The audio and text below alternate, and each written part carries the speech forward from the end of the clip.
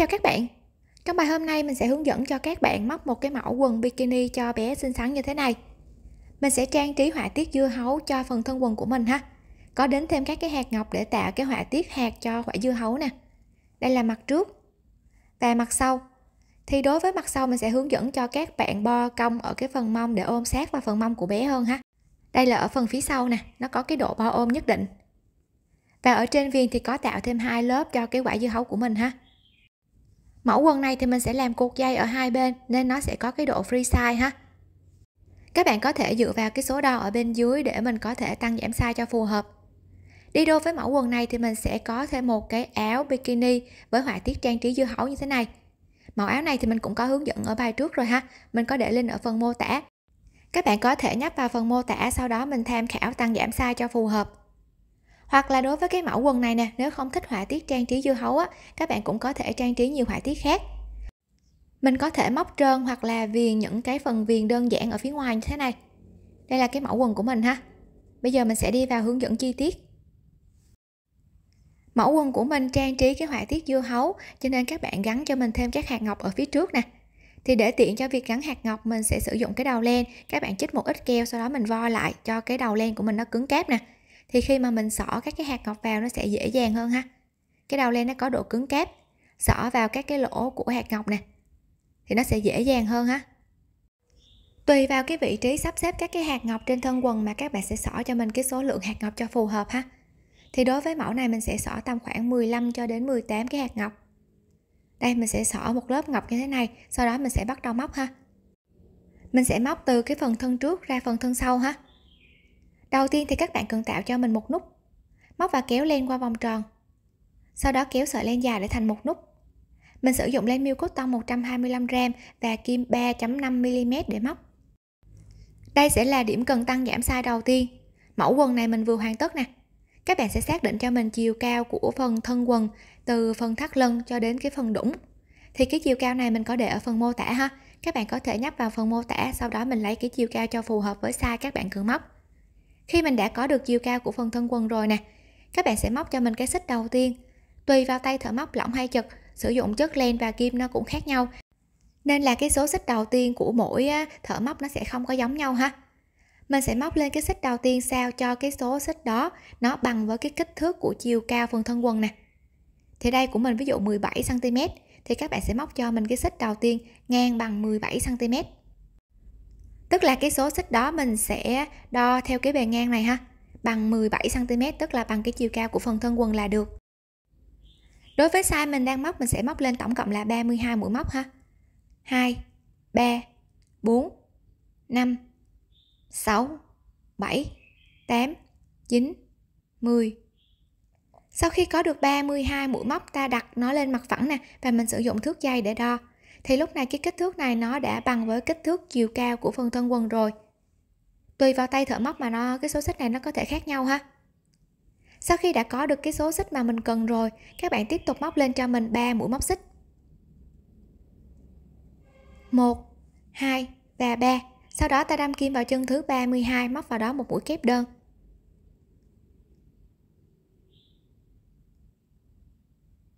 Mình sẽ làm lần lượt tương tự cho các chân móc còn lại cho đến chân cuối cùng. Cứ mỗi chân các bạn sẽ móc cho mình một mũi kép đơn vào mỗi chân móc. Kép đơn thứ hai vào chân thứ hai nè.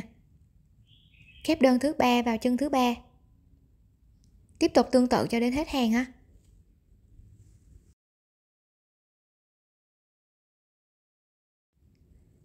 Sau khi đã móc được đến cuối hàng, ta sẽ được cái bề ngang cho cái phần thân trước như thế này. Sử dụng thước dây để đo nè thì mình sẽ có được cái bề ngang này nó bằng với chiều cao của phần thân quần. Khi đã có được cái bề ngang này rồi, tiếp tục mình sẽ móc các cái hàng móc tiếp theo. Thì các cái hàng móc tiếp theo mình sẽ tiến hành giảm mũi ha. Các bạn móc lên cho mình hai mũi móc xích và quay ngược đầu móc lại. Khi quay ngược đầu móc lại, để cho cái phần thân quần của mình nó có cái độ bo nhỏ lại xuống phía dưới phần đũng nè, thì các bạn sẽ giảm mũi cho mình. Tức là mình sẽ giảm một mũi đầu và một mũi cuối hàng móc ha. Thì các bạn sẽ làm như sau thay vì mình chụm hai cái chân móc chân đầu tiên và chân thứ hai thành một mũi, thì các bạn sẽ bỏ qua chân đầu tiên. Mình móc vào chân thứ hai một mũi kép đơn cho nó gọn mũi hơn ha. Đây, bỏ qua chân đầu tiên. Móc vào chân thứ hai một mũi kép đơn. Như vậy là ở đây mình đã bỏ qua được một mũi rồi nè. Các bạn móc các cái chân móc nằm chính giữa thì mỗi chân móc một mũi kép đơn cho đến cuối hàng. Và cuối hàng sẽ chừa cho mình hai cái chân móc cuối cùng ha.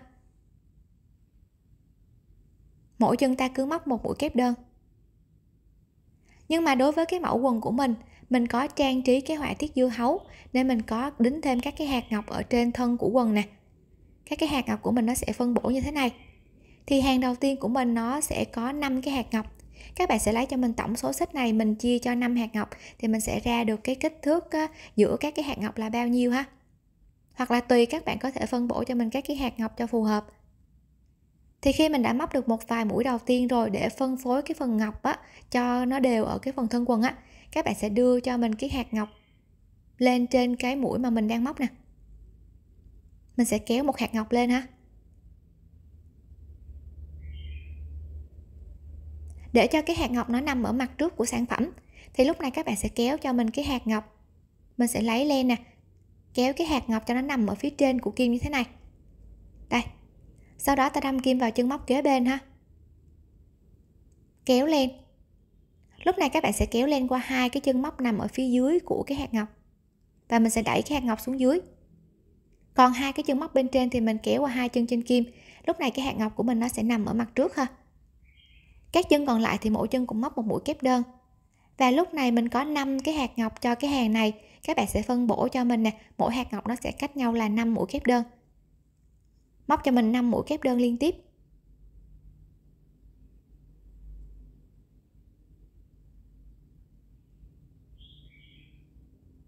Sau khi đã có được 5 mũi kép đơn để tạo khoảng cách cho các cái hạt ngọc thì cái mũi kế tiếp sẽ tạo hạt ngọc ha. Tương tự giống như cái hạt ngọc đầu tiên. Ta cũng lấy lên, sau đó đẩy cái hạt ngọc lên phía trên của kim. Đâm kim vào chân móc. Kéo lên sau đó kéo qua hai đường trên kim để đẩy cái hạt ngọc này xuống phía dưới. Và kéo qua hai đường còn lại trên kim, thì hạt ngọc của mình nó sẽ nằm ở mặt phải của sản phẩm nè. Sau đó các bạn sẽ làm tương tự cho mình cho các chân còn lại ha. Khoảng cách của các hạt ngọc sẽ cách nhau là 5 mũi móc và chừa lại cho mình hai cái chân móc cuối cùng.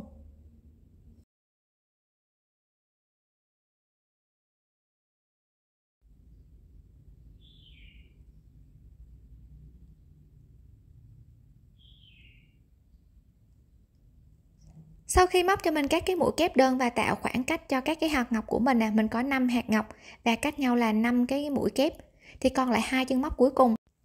Ở đầu hàng móc mình đã giảm đi được một mũi rồi, thì bây giờ ở cuối hàng móc cũng giảm đi thành một mũi ha. Tức là mình sẽ chụm hai cái chân đó lại thành một mũi nè. Các bạn lấy len sau đó đâm kim vào chân kế cuối, kéo len và kéo qua hai đường trên kim. Tiếp tục lấy len lần thứ hai, đâm kim vào chân cuối cùng, kéo len sau đó kéo qua hai đường trên kim. Thì lúc này trên kim của mình sẽ có ba đường. Kéo qua hết ba đường trên kim, thì ta sẽ có hai chân phía dưới chụm lại thành một mũi bên trên. Giảm được một mũi ha. Móc lên hai mũi móc xích. Thì lúc này cái hàng móc này nó giảm đi được hai mũi. Nó sẽ có cái độ à, nhỏ dần ha. Nhỏ dần từ cái hàng móc mình tạo đầu tiên xuống phía dưới nè. Hàng móc kế tiếp thì sẽ làm tương tự, tức mình cũng giảm một mũi đầu và một mũi cuối. Thì các bạn cũng làm tương tự như cái hàng mà mình vừa móc quay ngược đầu móc nè. Thì để cho gọn mũi thì mình có thể chụm hai cái chân móc đầu tiên lại thành một mũi, hoặc là mình cũng có thể bỏ qua chân đầu tiên và móc vào chân thứ hai một mũi ha. Nó cũng sẽ tương tự giống như nhau. Như vậy là mình cũng giảm đi được một mũi nè. Các chân chính giữa thì mỗi chân móc một mũi kép đơn, móc cho đến cuối hàng, chưa cho mình hai chân móc cuối cùng. Và đối với hạt ngọc, mình sẽ móc xen kẽ, một hàng móc hạt ngọc và một hàng không móc ha thì hàng này mình sẽ không tạo hạt ngọc. Móc tương tự cho mình cho đến cuối hàng.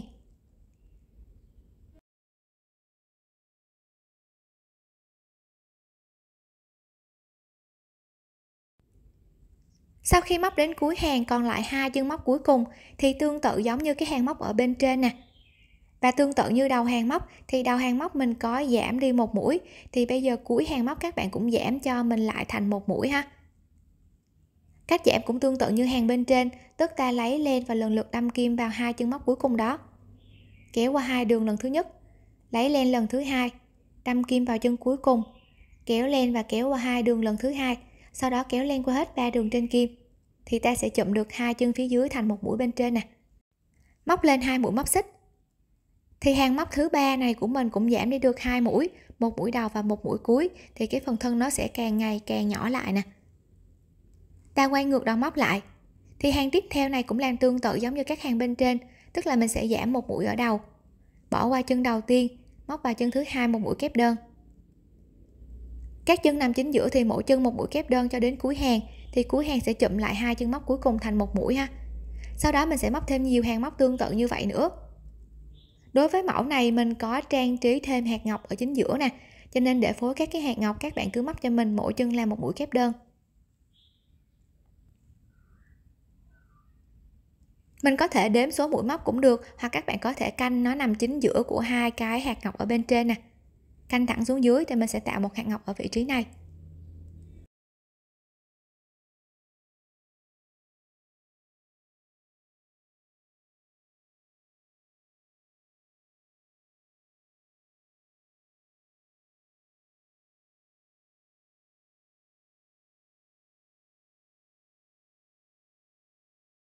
Mình sẽ có được một hạt ngọc nằm chính giữa hai hạt ngọc ở bên trên ha. Sau đó các bạn tiếp tục làm tương tự cho các chân còn lại cho đến cuối. Mình có thể canh ở chính giữa cũng được, hoặc là các bạn cũng có thể tạo cái khoảng cách giữa hai hạt ngọc bằng 5 mũi kép đơn bằng ở bên trên nè. Sau đó mình sẽ móc thêm nhiều hàng móc tương tự như vậy nữa ha. Đây sẽ là điểm thứ hai cần canh sai. Chiều cao của thân quần nè, các bạn sẽ lấy cho mình chiều cao này mình chia ra cho 4 chia cho 4 phần nè thì các bạn sẽ móc thêm cho mình nhiều hàng móc giảm mũi giảm mở đầu và cuối. Cho đến khi mình đạt được cái chiều cao đó, nó bằng 3 phần tư so với tổng chiều cao của cái phần thân quần là được. Còn lại một phần cuối cùng, một phần tư còn lại mình sẽ không có giảm mũi ha. Và lưu ý những bạn nào mà có tạo cái hàng viền họa tiết ở bên trên này thì mình thể chừa ra 1 cm ở bên trên để mình tạo phần viền ha. Mình sẽ đo chừa ra 1 cm sau khi đã giảm cho mình thêm nhiều hàng móc nè, chừa thêm 1 cm để tạo phần viền ở bên trên, thì lúc này cái chiều cao của các hàng mà mình giảm, nó đã bằng 3 phần tư so với tổng chiều cao của toàn bộ phần thân quần rồi. Thì còn 1 phần tư còn lại mình sẽ tiến hành không giảm mũi. Không giảm mũi tức là các bạn sẽ móc đều cho mình ha, mỗi chân móc một mũi kép đơn.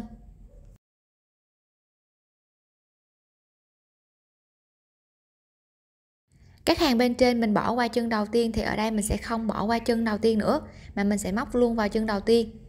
Các chân còn lại thì mỗi chân móc một mũi kép đơn và các bạn sẽ móc tương tự cho mình cho đến cuối hàng. Mỗi chân ta cứ móc một mũi kép đơn ha.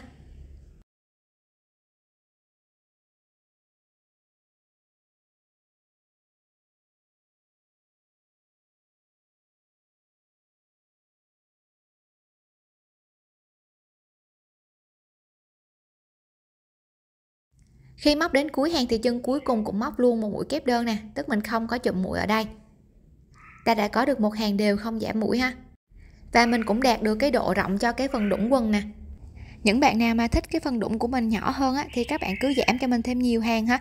Sau đó sẽ móc thêm nhiều hàng móc đều cho đến khi mình đạt được chiều cao của cái phần à, thân quần là được. Nó sẽ bằng cái bề ngang mà mình tạo đầu tiên ha. Sau khi đã móc cho mình thêm nhiều hàng móc đều không giả mũi, thì lúc này đo được cái chiều cao của cái phần thân quần mà mình vừa có nè. Chừa ra một cm để mình tạo phần viền bên trên ha. Thì nó đã đạt được cái kích thước bằng với lại cái xích đầu tiên mà mình móc được rồi. Thì bây giờ mình sẽ móc cái phần thân sau ha. Đây là cái phần thân sau mà mình hoàn tất nè. Các bạn cũng lấy cho mình cái chiều cao mà mình có được ở phần thân sau. Thì cái chiều cao này mình sẽ chia đôi ra. Các bạn sẽ chia đôi cho mình ha một phần ở phía dưới thì mình sẽ tăng nhiều mũi hơn so với phần bên trên để mình tạo cái độ bo cho cái phần mông á. Còn cái phần bên trên thì mình sẽ tăng ít hơn. Và đối với cái phần phía dưới này nè, các bạn sẽ sắp xếp cho mình khoảng tầm 2 cm nữa, móc từ dưới lên trên ha. Tức là mình sẽ có khoảng tầm 2 cm cái số hàng móc đều nhau, tương tự giống như cái phần thân trước này. Rồi sau đó mình sẽ móc thêm nhiều hàng móc, tăng nhiều mũi để mình đạt được một nửa so với cái phần thân sau ha thì lúc này mình đã móc được hai hàng móc đều nhau giống như cái phần thân trước rồi nè. Ta đã lên được khoảng tầm 2 cm rồi. Bây giờ mình sẽ móc tiếp các cái hàng móc tăng nhiều mũi để mình tạo cái độ bo cho cái phần mông. Thì à, các bạn sẽ móc cho mình ở hai cái chân đầu tiên. Mỗi chân móc cho mình hai mũi kép đơn ha. Chân đầu tiên móc hai mũi kép đơn nè. Và cái chân thứ hai cũng móc cho mình hai mũi kép đơn cùng chân móc. Như vậy là ở đầu hàng móc này mình sẽ tăng lên được hai mũi móc nè ta có hai chân, mỗi chân có hai mũi kép đơn. Các chân nằm chính giữa thì móc cho mình mỗi chân làm một mũi kép đơn. Các bạn sẽ móc cho mình chừa ra hai chân móc cuối cùng ha.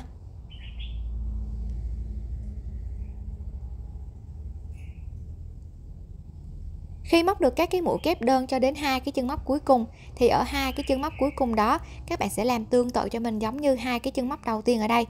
Mỗi chân mình sẽ móc hai mũi kép đơn vào cùng một chân móc chân kế cuối móc hai mũi kép đơn nè. Và chân cuối cùng cũng móc hai mũi kép đơn. Như vậy là ở đầu cái hàng móc bên này mình cũng tăng lên được hai mũi móc ha. Bằng với số mũi móc tăng ở đầu hàng. Mình sẽ có một hàng tăng mũi như thế này. Tăng hai mũi đầu và hai mũi cuối. Tiếp tục móc lên hai mũi móc xích và quay ngược đầu móc lại. Hàng tiếp theo này cũng làm tương tự như hàng bên dưới. Mình sẽ tăng ở hai chân móc đầu tiên chân đầu tiên móc hai mũi kép đơn. Và chân thứ hai móc hai mũi kép đơn.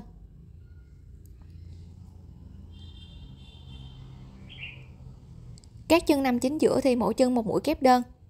Sau đó các bạn sẽ móc cho mình đến cuối hàng. Cuối hàng sẽ chừa ra hai chân móc cuối cùng. Hai chân móc cuối cùng đó mình sẽ móc mỗi chân là hai mũi kép đơn vào cùng chân móc. Tức mình sẽ móc tương tự giống như cái hàng bên dưới ha. Sau đó mình sẽ móc thêm nhiều hàng móc cho đến khi mình gặp cái phần thân quần lại nè cộng với 2 cm mà mình móc không tăng ở phía dưới. Với các cái hàng móc mà mình móc tăng nhiều mũi, thì các bạn sẽ làm sao cho mình đạt được một nửa so với chiều cao của phần thân quần là được. Sau khi đã móc thêm nhiều hàng móc tăng hai mũi ở đầu và hai mũi ở cuối rồi, thì khi các bạn nhìn nghiêng qua một bên, nó sẽ tạo cái độ phòng cho phần mông. Và lúc này nó đã đạt được ờ, một nửa so với chiều cao của cái phần thân quần rồi ha thì bây giờ cái nửa còn lại các bạn sẽ tăng ít hơn so với các cái hàng mà mình tăng nhiều ở bên dưới. Móc lên hai mũi móc xích và quay ngược đầu móc lại. Hàng móc tăng ít hơn thì chân đầu tiên móc hai mũi kép đơn vào cùng chân móc. Các chân nằm chính giữa mỗi chân móc một mũi kép đơn, tức là hàng móc tăng ít hơn mình sẽ móc một chân móc móc tăng mũi thôi ha, chứ không có làm hai chân giống như cái hàng tăng nhiều bên dưới. Các chân còn lại thì mỗi chân móc một mũi kép đơn nè. Các bạn sẽ móc tương tự cho mình cho đến cuối hàng.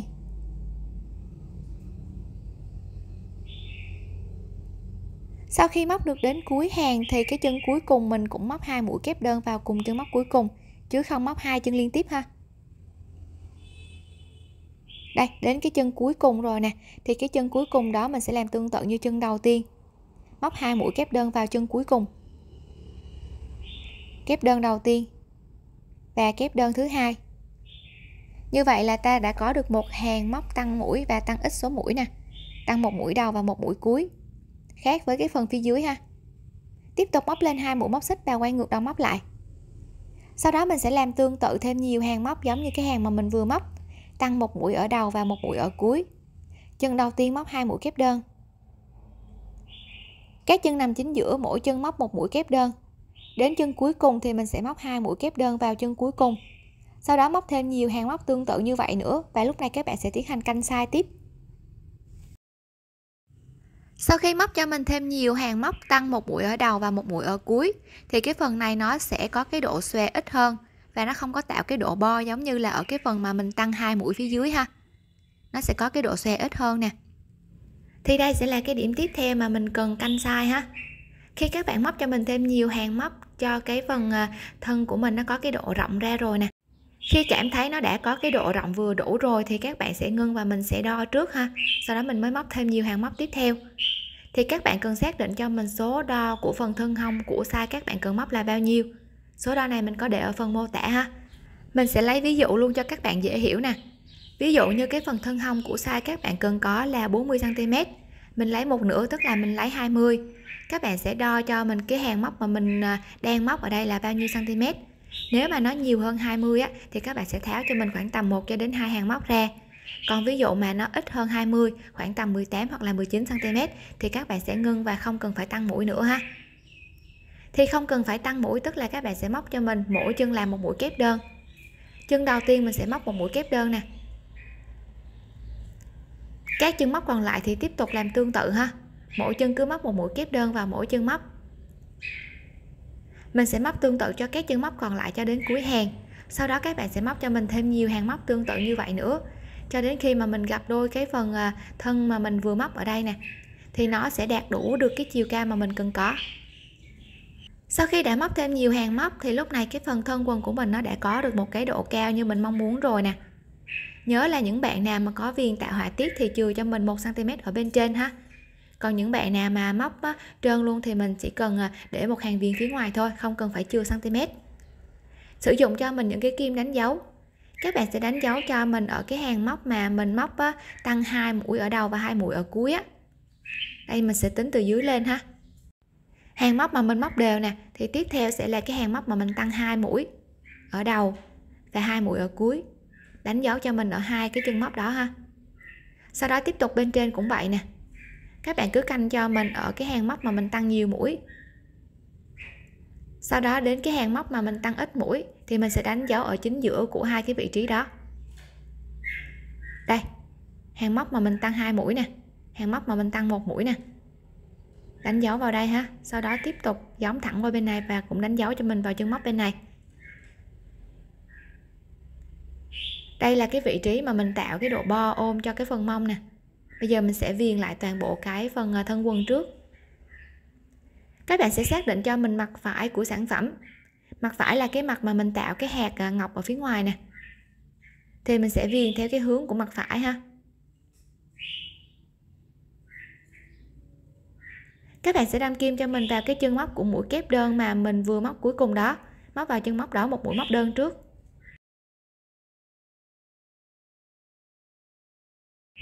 Lúc này các bạn để ý cho mình nè, ở cái hàng móc mà mình móc phần viền này, nó sẽ không có những cái chân móc liên tiếp với nhau, mà nó sẽ có thân chân móc. Chân móc, thân chân móc chân móc, thân chân móc và chân móc xen kẽ lẫn nhau, chứ nó không có những cái chân móc cụ thể giống như là cái phần à, hàng bên này. Thì các bạn cứ lần lượt đâm kim cho mình vào các cái chân móc như thế này. Mỗi chân móc thì mình sẽ móc hai mũi móc đơn vào cùng chân móc ha. Chân đầu tiên nè, hai mũi móc đơn và tiếp tục chân kế bên cũng móc viền cho mình lại hai mũi móc đơn vào cùng chân móc. Các bạn sẽ viền tương tự cho mình cho các chân móc còn lại cho đến cái chân mà mình đánh dấu. Mỗi chân thì ta cứ móc hai mũi móc đơn vào cùng chân móc ha.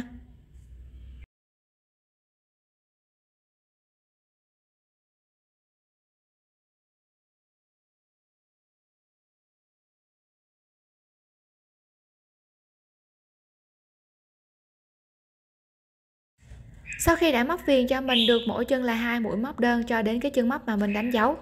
Thì từ cái khoảng giữa của hai chân móc mà mình đánh dấu là cái khoảng mà mình tạo cái độ bo ôm cho phần mông.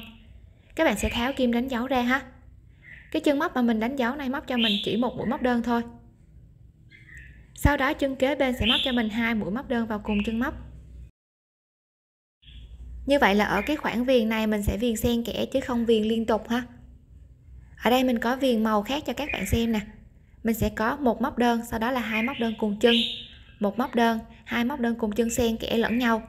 Các cái chân phía ngoài này thì mỗi chân là hai mũi móc đơn ha. Chỉ có cái phần mà mình à, tăng nhiều mũi mình à, móc xen kẽ để cho cái phần à, viền nó ôm sát lại với phần mông nè. Đây, ta sẽ tạo ra được một cái độ cong như thế này. Thì các bạn sẽ viền tiếp tục cho mình cho đến chân móc mà mình đánh dấu cuối cùng cứ xen kẽ chân móc này móc một mũi móc đơn thì chân móc kế tiếp sẽ móc hai mũi móc đơn cùng chân móc. Khi viền cho đến cuối ha thì tùy vào trường hợp. Nếu mà đủ mũi thì chân móc cuối cùng nó sẽ là một móc đơn. Còn ví dụ như mà không đủ hàng móc á, thì chân móc cuối cùng nó có thể là hai mũi móc đơn ha. Nó tạo được cái độ bo cho cái phần mông rồi. Thì các chân móc viền kế tiếp mỗi chân mình sẽ móc hai mũi móc đơn vào cùng chân móc. Móc tương tự cho mình cho đến cái đầu móc còn lại ha.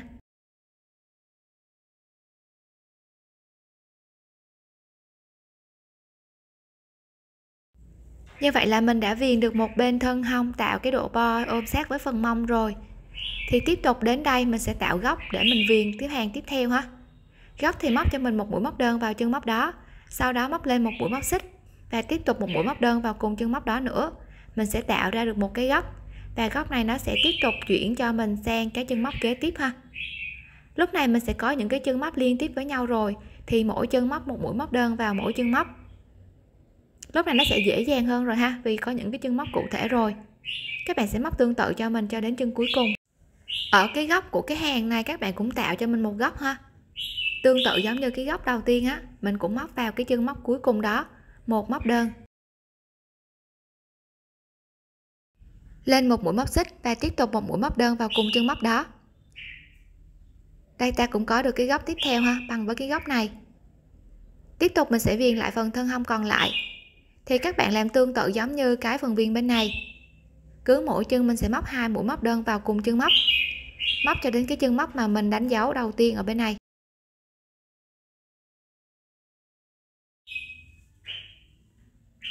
Sau khi các bạn đã viên cho mình được đến cái chân móc mà mình đánh dấu nè, mỗi chân móc hai mũi móc đơn vào cùng chân móc, thì lúc này đến cái chân móc đầu tiên mà mình đánh dấu ở cái hàng bên này, các bạn sẽ giống cho mình ở cái hàng đối diện thì hàng đối diện của mình mình viền ở chân móc đó là móc mũi gì thì bây giờ các bạn sẽ móc cho mình đối xứng lại ha. Lúc này ở cái hàng cuối cùng của mình là hai mũi móc đơn cùng chân móc. Thì từ đây các bạn sẽ tháo kim đánh dấu ra và mình cũng móc tương tự như cái đầu đối diện. Tức mình sẽ móc vào cái chân móc đó, hai mũi móc đơn cùng chân móc. Từ đây mình sẽ tiếp tục làm xen kẽ, một chân móc là móc một mũi móc đơn, còn một chân móc mình sẽ móc hai mũi móc đơn cùng chân ha chân này một móc đơn nè. Chân kế tiếp sẽ là hai móc đơn cùng chân móc. Tiếp tục là một mũi móc đơn vào chân kế bên. Hai mũi móc đơn vào chân kế tiếp. Và một mũi móc đơn vào chân mà mình đánh dấu cuối cùng ở đây. Thì lúc này cái chân mà mình đánh dấu cuối cùng này, cái mũi cuối cùng cũng là mũi móc đơn. Nó cũng à, tương ứng với lại cái chân móc đối diện là một mũi móc đơn ha. Nó cũng tạo cái độ bao ôm như thế này còn lại các chân móc cuối cùng thì cứ mỗi chân móc hai, mũi móc đơn cùng chân móc cho đến cuối hàng ha.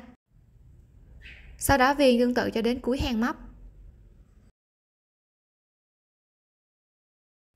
Sau khi đã viền cho mình hoàn tất được cái phần thân quần rồi, khi mà mình gặp cái phần thân quần lại, ta sẽ tạo ra được một cái độ cao như thế này. Còn thêm hai hàng móc nữa để tạo cái phần viền, thì mình sẽ có được cái chiều cao bằng với cái xích đầu tiên mà mình gây nên còn đối với những bạn nào mà không có tạo cái phần viền với cái độ dài hai hàng móc á, thì các bạn cứ móc trơn cho mình như thế này, sau đó mình sẽ tạo một hàng viền ở phía ngoài. Thì ta cũng có được cái chiều cao của cái phần thân quần bằng với chiều cao của xích đầu tiên mà mình gây nên ha. Bây giờ mình sẽ tiến hành móc cái phần viền. Thì cái phần viền cũng móc ở mặt phải của sản phẩm ha, đưa cho mình sợi len màu trắng ra phía sau. Mình sẽ đâm kim vào cái chân móc của cái hàng mũi mà mình tạo góc ở đây nè ở đây mình có một đơn, một xích và một đơn thì mình đâm kim vào cái khoảng trống xích á. Sau đó kéo cái sợi len qua cái khoảng trống đó, móc lên một mũi móc xích. Và lần lượt đâm kim vào các chân móc, mỗi chân móc một mũi móc đơn. Khi móc thì nhớ giấu sợi len thừa vào trong mũi móc để ta cắt len không phải giấu len nhiều. Móc tương tự cho mình, cho các chân móc còn lại cho đến cuối hàng ha.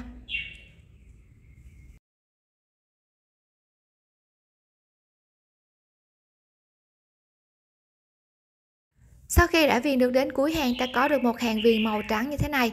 Móc lên một mũi móc xích, sau đó cắt len. Cắt một đoạn len vừa đủ thôi ha.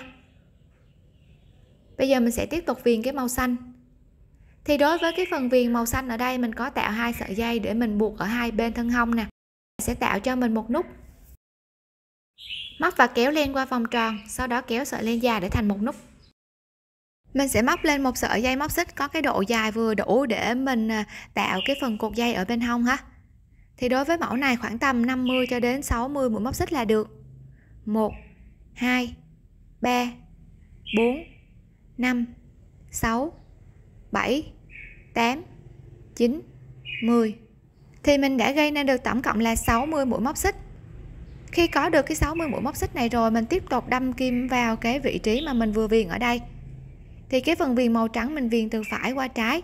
Phần viền màu xanh các bạn cũng làm tương tự ha. Viền từ phải qua trái. Đâm kim vào chân của mũi móc đơn đầu tiên, móc vào đó cho mình một mũi móc đơn. Và mình làm tương tự cho các chân còn lại cho đến cuối ha. Mỗi chân cũng móc cho mình một mũi móc đơn vào mỗi chân móc. Khi móc đến những cái chân móc cuối cùng nè, có cái sợi len thừa thì các bạn móc cũng giấu cho mình vào trong mũi móc để ta cắt len không phải giấu lên nhiều nè mình sẽ móc tương tự cho đến cuối.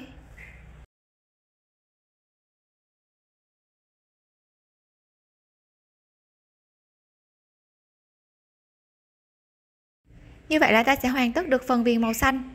Từ đây tiếp tục bóc lên một dây móc xích bằng với cái sợi dây móc xích ban đầu mà mình móc.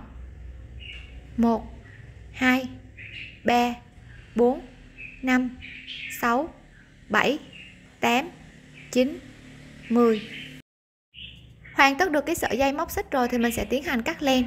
Như vậy là ta sẽ có được một cái phần viền với họa tiết dưa hấu xinh xắn như thế này ha. Mặt trước thì có trang trí các cái họa tiết hạt ngọc nè. Khi mình gặp đôi phần thân quần lại thì ta sẽ có được một cái chiều cao bằng với chiều cao của sai các bạn cần móc. Cách móc của cái phần thân quần này nó cũng tương tự giống như cái cách móc mà mình vừa hướng dẫn ở đây ha, đối với những bạn nào mà không tạo họa tiết dưa hấu nè các bạn sẽ viền cho mình một hàng viền của cái phần thân quần trước, sau đó mình sẽ tạo những cái sợi dây. Thì cách tạo cái sợi dây cho cái mẫu quần mà không có cái phần viền họa tiết dưa hấu á, các bạn cũng móc cho mình một cái xích đầu tiên để làm sao cho mình cột qua cái phần thân hông trước. Sau đó từ đây mình cũng đâm kim vào cái chân móc của cái mũi đầu tiên. Đâm kim vào đó móc cho mình một mũi dời. Mẫu quần này thì mình sẽ không móc mũi móc đơn mà các bạn cứ sử dụng cho mình mũi dời. Và mình móc các cái mũi dời cho các cái chân móc kế tiếp ha. Lần lượt móc các cái mũi dời cho các chân móc còn lại cho đến cuối hàng. Thì đến cuối hàng mình cũng tạo một cái sợi dây bằng với cái sợi dây móc xích ban đầu mà mình móc. Như vậy là mình sẽ tạo được cái sợi dây cho cái phần thân quần mẫu này ha. Và cái mẫu quần của mình khi các bạn mặc vào thì mình sẽ cột ở hai cái đầu dây bên thân hông lại nè các bạn sẽ thắt lại ở hai bên thân hông ha.